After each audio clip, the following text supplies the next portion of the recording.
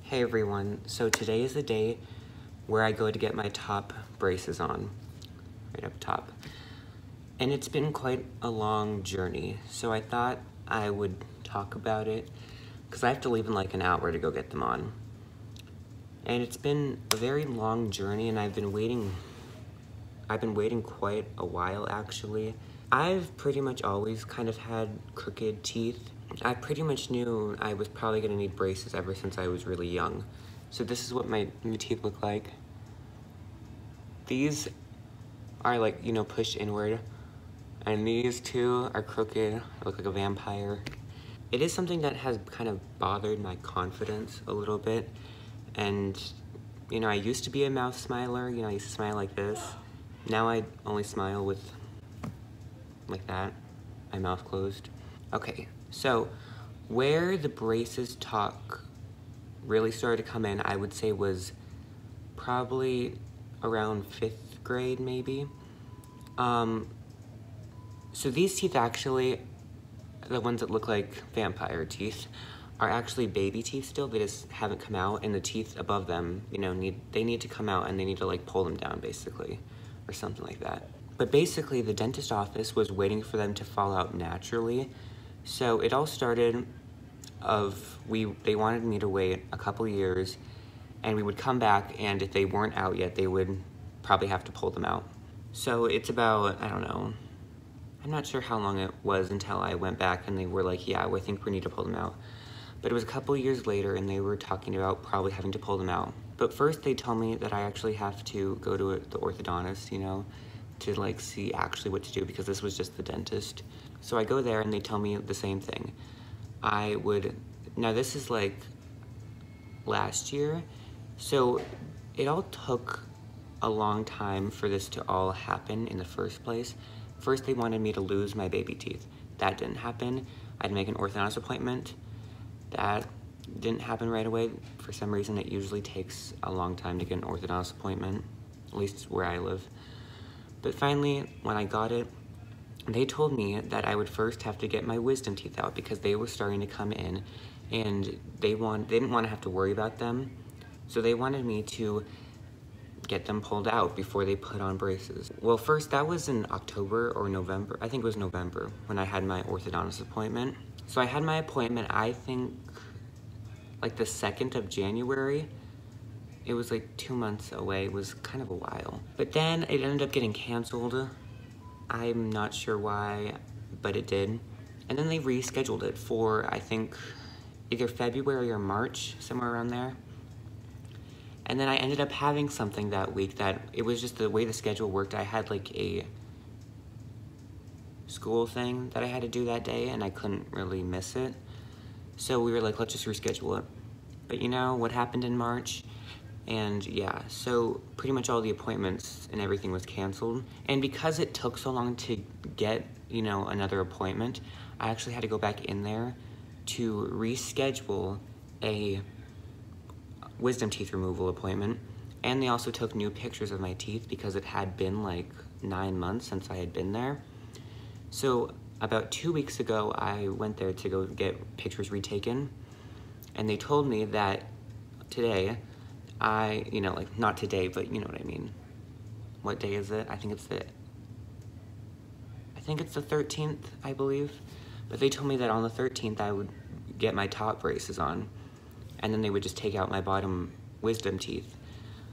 And I was really confused, but it's happening. So it's really just been a long journey that's been a roller coaster and we're finally kind of here, partially. I still have to, of course, my bottom teeth are really janky, but I'm really lucky to get this opportunity because there's a lot of times where people aren't so lucky and, you know, they end up, maybe their family can't afford it or they don't have good insurance. Mine doesn't really have good insurance. My insurance doesn't have good brace coverage is what I mean. You know, whatever. I'm actually just happy that it's I get the opportunity because like my brother didn't get braces and now he's in his 20s, you know, and he's having to figure that out. And a lot of people look down on people who are in their 20s that have braces, which is so shitty. Like people suck. because braces are expensive and there's just a lot of times when people can't afford it and that's okay. I mean, it's not okay, but you shouldn't be rude to these people just because they want to have nice teeth and, you know, their parents couldn't afford it, so they have to pay for it themselves. Just be nice. I'm a little nervous though, especially to get my wisdom teeth out, which I don't know when that is. I really wanted to get it done this summer, but you know, a lot of offices were really closed unless emergencies. But yeah, I have to leave in like 10 minutes, so I hope it goes well.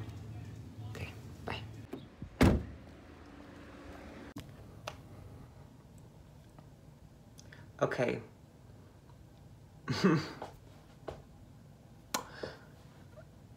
okay. I look like a doofus. Okay, I didn't think I was gonna necessarily look good with braces because who does? But, and there's even worse news. There's a reason there's no wires on these yet, and that's because in a few weeks, not only do I have to get my wisdom teeth pulled, but I also have to get my canines, which are these ones, and the one above it on each side. I have to get eight teeth pulled on one day. And then after that, I have to go like in a week, a week later from that, or a week, two weeks, I'm not sure. And then I have to get my wires on. I don't know how I'm supposed to eat if the teeth in the back of my mouth are gone and the teeth in the front of my mouth are gone. What am I supposed to eat and how am I supposed to eat? How am I supposed to chew food? What can I even eat? Because they told me I can't eat like anything with braces. Like I knew I couldn't eat certain things, but still. Not only that, but I have to have these on for three years. So I'm gonna look like this for three years. I'm gonna be a sophomore in like a few days when school starts. So I'm gonna have my entire, the entire rest of my high school career is, I'm going to look like this.